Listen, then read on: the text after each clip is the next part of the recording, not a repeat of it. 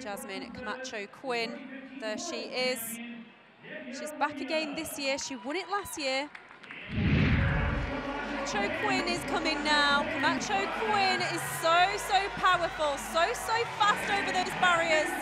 But that is one of the fastest times ever recorded. It's the last four hurdles or so where Camacho Quinn, she almost gets up to full momentum.